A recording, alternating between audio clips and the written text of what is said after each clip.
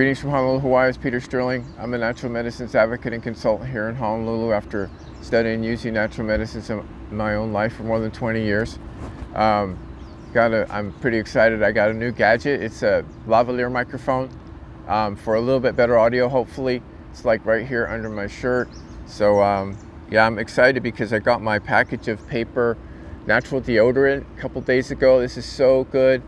Um, this one is musk ylang ylang and this one is bright shiny morning grapefruit.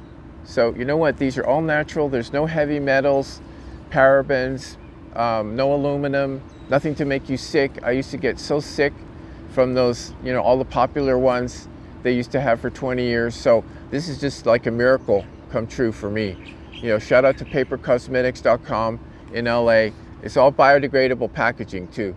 God bless. Take care